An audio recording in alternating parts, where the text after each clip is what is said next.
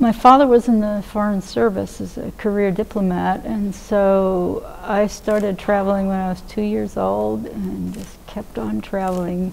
And now I'm 70 and I'm still traveling. One of the most bizarre things that ever happened to me, I was I had been invited to a tourist lodge in Peru to do a mammal inventory, and it happened to be over Christmas, so I was at the lodge basically by myself with the manager, and it it was the rainy season, it was just pouring rain. And the minute the rain stopped, after about two days, I went racing out and set up a lot of bat nets.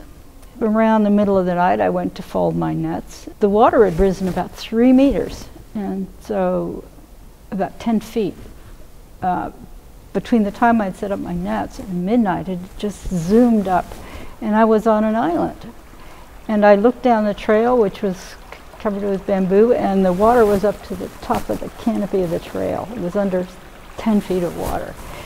And so I was on this tiny little island, so I spent the night looking around to see if I was accompanied by a lot of poisonous snakes. Uh, at dawn, I, uh, when it got light enough, uh, I was still on a tiny island surrounded by water, so I said, well, I, there's nothing for it, I have to swim back. So I took off my shoes and socks, and I had to cross this big mat of floating vegetation. It was really horrible, sort of plowing my way through.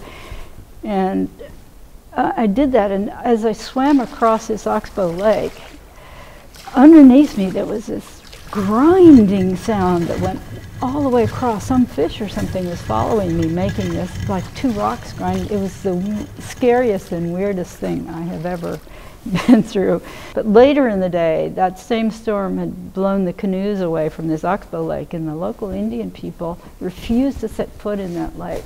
There's something in that lake that, that scared everybody, not only me. And so they carried wooden canoes out there to paddle out to pull the, uh, the loose canoes back to shore uh, because they didn't want to set foot in it.